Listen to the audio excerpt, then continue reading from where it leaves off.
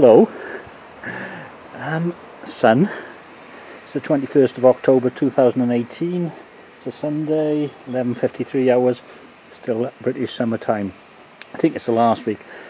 The hedge is just about to go. Things have disappeared over there.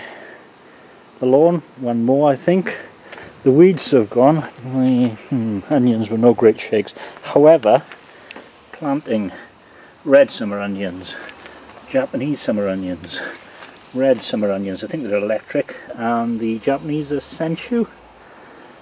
You plant them October, November, and then you get them about July, and they're great.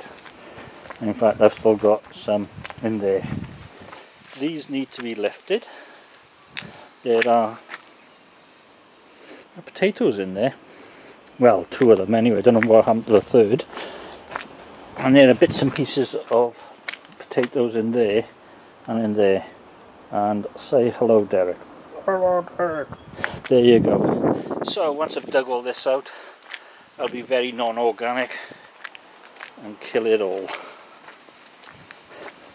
But hey, sun. And there's my shadow. It's really rather warm and a pleasing breeze.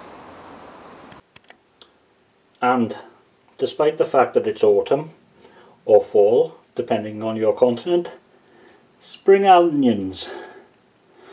Although I've seen them called salad onions, but no, these are spring onions and they're red and they're growing well. And there could be some for tea.